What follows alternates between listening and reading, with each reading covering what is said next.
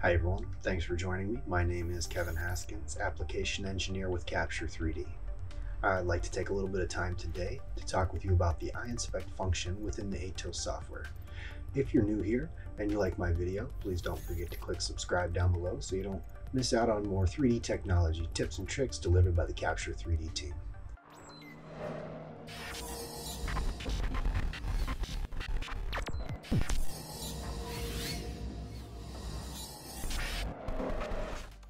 So a lot of you are probably wondering what is the iInspect function, what does it do, or what applications might I have to use it for? So the iInspect function, or the iInspect wheel as I call it, um, is a function where you can access inspection options for any element that you have selected within your project. Um, so regardless of what scanner or what measuring volume you use to scan your part, you'll likely be using the iInspect function to inspect those parts. Um, to open the iInspect wheel, all you have to do is left mouse click on the magnifying glass icon within the inspection workspace, or from within any workspace, you can use the hotkey control right mouse click into 3D view. So before we get started um, with the software portion of this video, I'd just like to take a quick moment to touch on some of the big benefits of the iInspect wheel. Um, so iInspect can help you manage inspection functions guide you through the inspection process by only offering necessary and relevant inspections and checks, um, automatically identifies the elements that you have selected, whether they be actual or nominal. Um, and then also it's good to note that the iInspect wheel can be displayed as two different menus, depending on which skin you're working on in your project, whether it's the inspection skin or the deformation skin. Um, if you're not familiar with skins, don't worry, that's covered in another one of our technical videos. Just don't forget to click that subscribe button down below. Uh, let's go ahead and get started.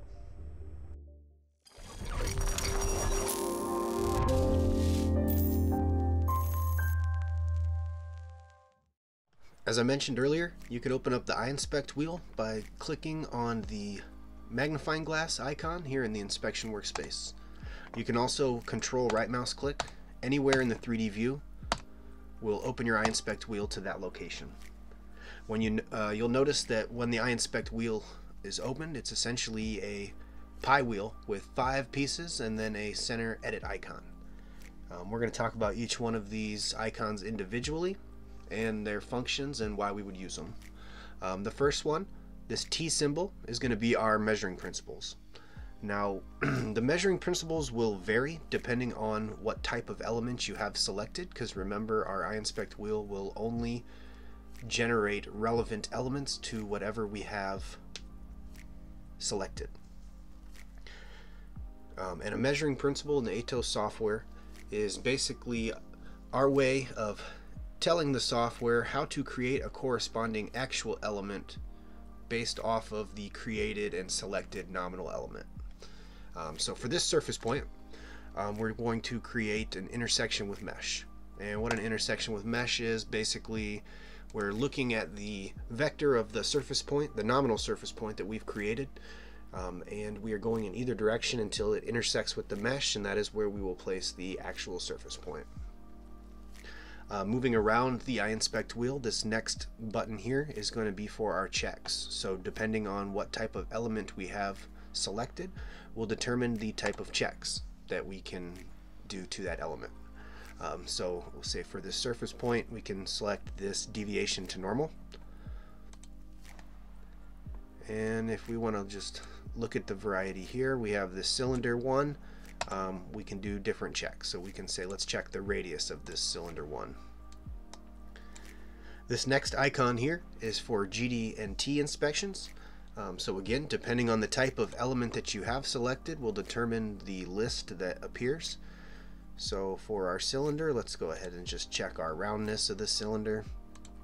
Um, and then for the surface point, we'll notice it is a much shorter list. Uh, we'll go ahead and just check the true position. I'll fill out the dialog and click OK.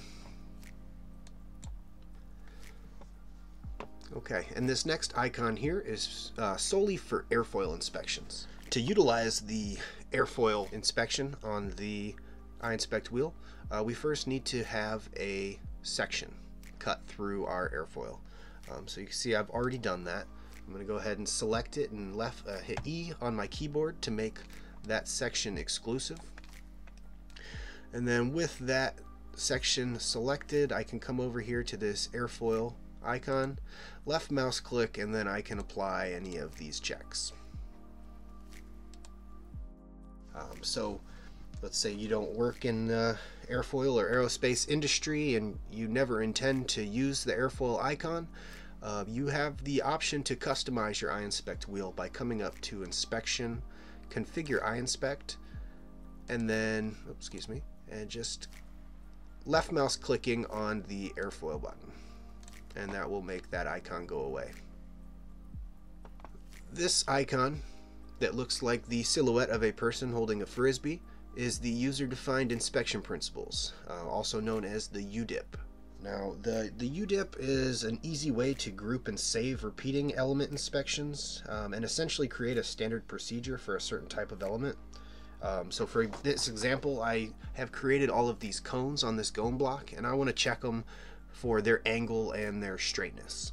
Uh, instead of going one by one and doing all the cones, I can select all of these cones.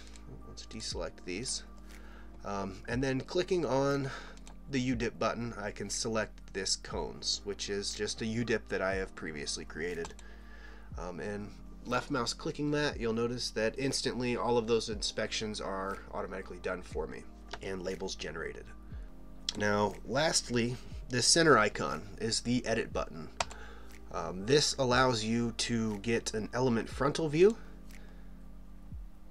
Um, it'll also let you recalculate an element.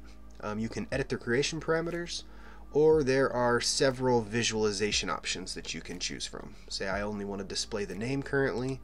If I select that, now just the name of my selected element will appear. Okay, so we started with a nominal element within the software, and then we used the functions of the iInspect wheel to generate an actual element by applying a measuring principle, and then continued to apply checks and GD&T inspections to that element. We then took a look at basic airfoil inspection by starting with a single section and using the airfoil icon on the iInspect wheel to inspect that section. We then continued to apply inspections to multiple elements at the same time through the use of a UDIP. I hope this video was helpful. Um, don't forget to click subscribe down below so you don't miss out on more 3D technology tips and tricks videos, or visit our website for case studies or to schedule a one-on-one -on -one with the Capture 3D team. Until next time, bye.